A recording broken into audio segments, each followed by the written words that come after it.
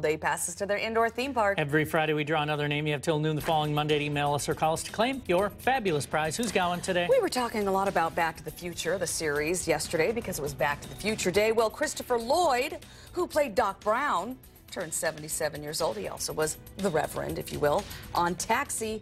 And I loved him as Mitchell on Modern Family. Jesse Tyler Ferguson, 40 years old. Today is National Nut Day. Hey, that's something. That is something. 1879 on this date What's your favorite? my favorite nut, Mm-hmm. almond. Almond. Healthiest, I think, probably. I don't know. It's a toss up for me. Cashew, walnuts. Everybody likes cashews. Yeah, I'll go for walnuts then. Walnuts? Yeah. All right. Uh, I don't like the Brazil nuts. I like the way they taste, but they're too hard to get out of the shell.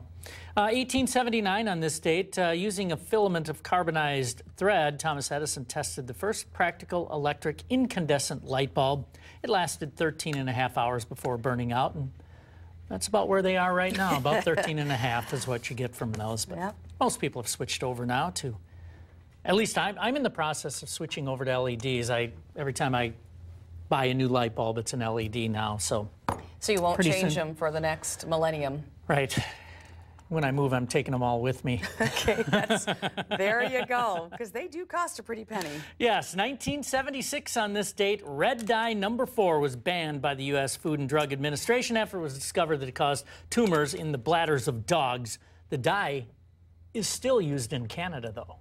Oh, really? Must not cause cancer in Canada, but it causes it here in the United States. I do remember when it was banned. Red M&Ms disappeared for a long time after red dye number four was banned. Bring you down moment. Actually, let's do this one first. Tropical storm Alpha formed in the Atlantic Basin. It was the 22nd named storm. They actually ran out of real names, so they had to go to Greek letters. It was the most active storm season ever. So that's what they do. They have one name for each of the letters, not all the letters. They skip some of them, like there's no X and there's no Q. Well, there could whatever. be a Hurricane Xander. But they don't. All roads lead to vampires. Main character in Buffy the Vampire Slayer. See There could do be. That? Why, why not X? Honestly. Well, if, if a dog had fins, it'd be a fish. Okay. Well, I mean, I don't know. Gotcha. All right. But uh, yeah, they name uh, 21 of them and then they go to the Greek letters after Okay. that. Okay, bring you down moment. Two correctional officers are killed by inmates at the United States uh, Penitentiary in Marion, Illinois. The incident inspired the Supermax model of prisons that happened in 1983.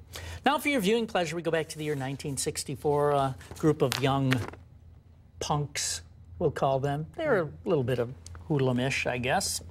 Uh, they, Yeah, uh, wearing jackets and clean shaven. And well, this was their press photo. I was going to say, look at those nice In, shoes. in too. 1964, these guys performed in front of John Burgess, an EMI producer, uh, EMI Records, and uh, he liked them, but he rejected them. Their drums were a little too loud. They didn't have enough original material.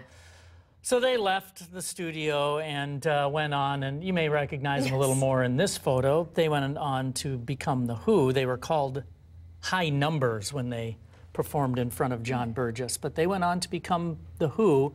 Uh, they kind of picked up the mod trend in, in uh, Britain at that time, and accidentally, uh, one of their guitar players was playing and he hit his guitar on the ceiling. They were playing some low bar, bar with a low ceiling, and he broke his guitar and got mad and threw it on the ground and went and got another guitar and played.